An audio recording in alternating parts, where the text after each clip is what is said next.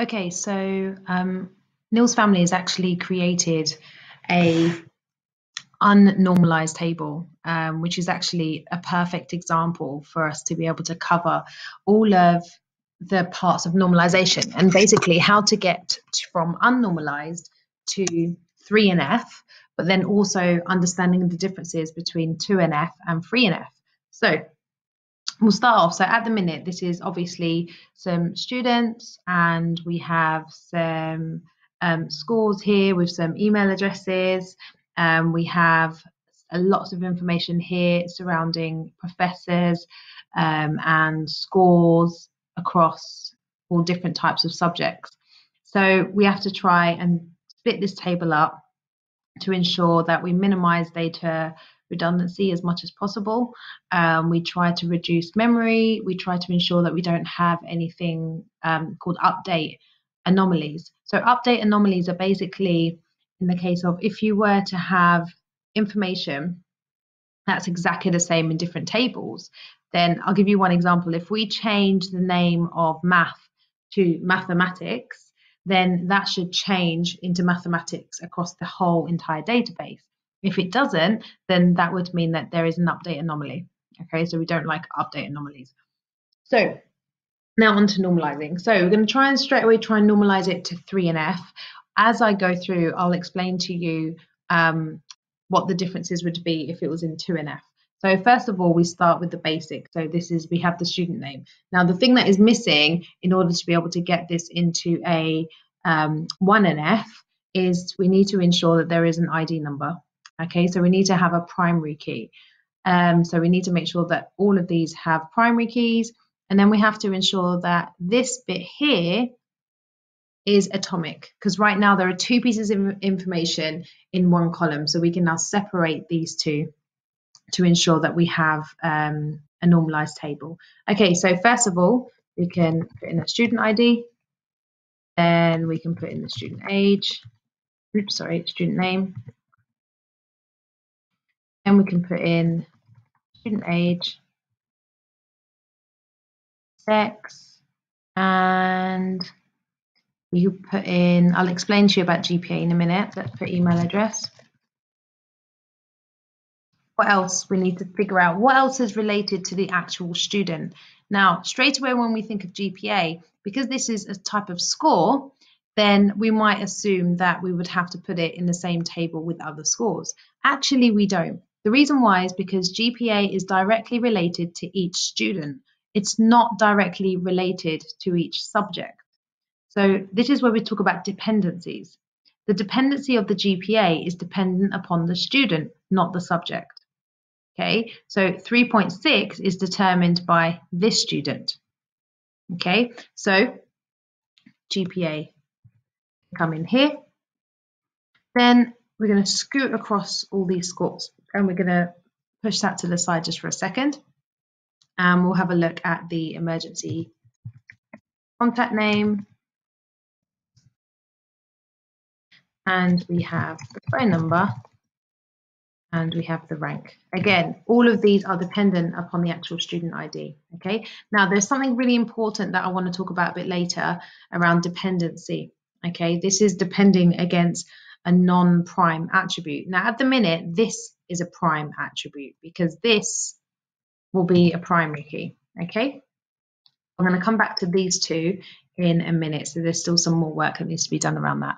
Okay, next thing that we need to figure out is our subjects. So, of course, we have to give it a subject ID, and then we can give it a subject name. Okay, we don't need to do subject one, subject two, subject three, because these are just going to have normal subject IDs. Okay, so now one thing that I noticed is the professors here. Now, if the professor, let's say for example, if I put in a subject ID, which is SU1, just as an example, and that subject is math, now the professor for math here is 2B. Okay. This professor, Dewey, teaches math. Therefore, that this column here is dependent on this subject. If this changes, then this would change. Okay, that's dependency. That's how dependency works. Now, in a 2NF, it allows the dependency to be the professor is allowed to be depended on the subject. Okay, that's 2NF. 3NF doesn't allow that. 3NF, you have to have all of these, which are obviously, I said non-prime. This is our prime because it's a primary key. Anything that's non-prime, which are these two, have to be directly related to the subject ID. Okay, so that means that the professor has to be related to the subject ID and should never ever change. That is the only way that we can put a professor name in here. But then I noticed something here that Doobie also teaches English. Oh, sorry, we know that Doobie teaches English. Sorry, there was another one that I spotted. Um, just checking here. Yeah, there we are. Doobie also teaches math. Okay, now this can be a problem because if Doobie teaches math, that means that the sub the professor is no longer dependent on the subject. Okay, Doobie doesn't depend on English anymore. So what would end up happening here is that we would write math and then we have Doobie, but see here, he teaches math in many, many other areas. Okay, what we can then do is that we can see that there is a tendency for one professor to be able to teach multiple subjects. If that's the case, then we have to remember that this can end up meaning that the professor doesn't rely on the subject here itself. It can rely on the subject ID. So therefore, professor can have his own ID.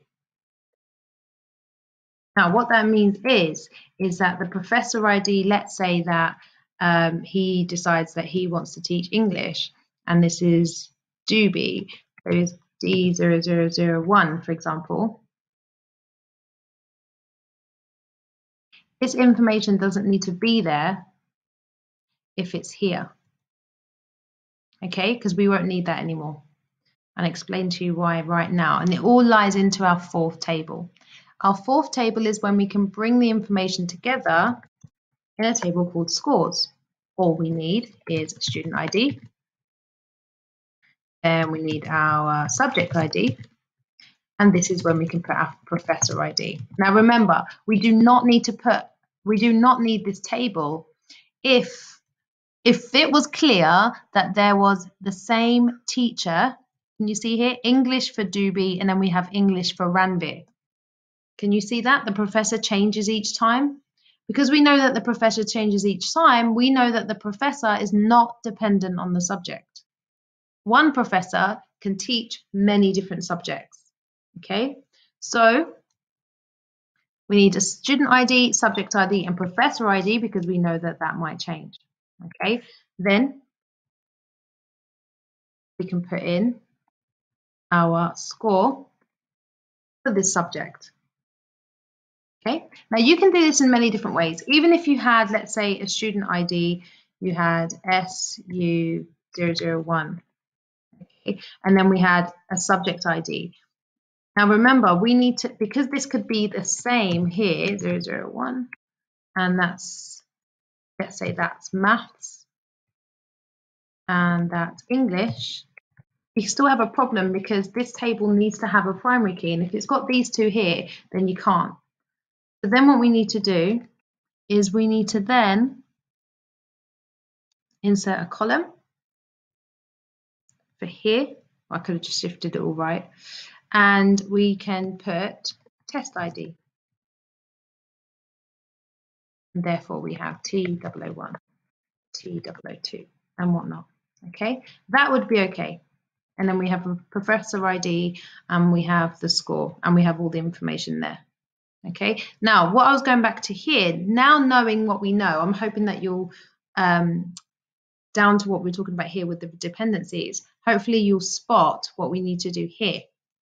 So At the minute, for it to be 3NF, we have to remember that each column has to be related to the initial primary attribute.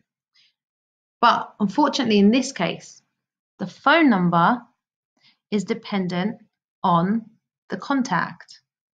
Okay, so if that's the case, that means that we can't, it can't be in 3NF.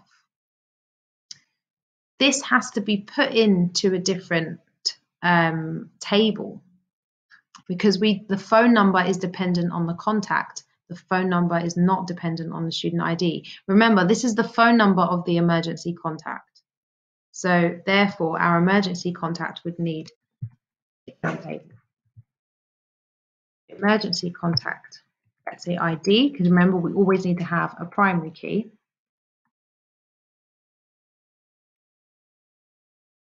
And then we have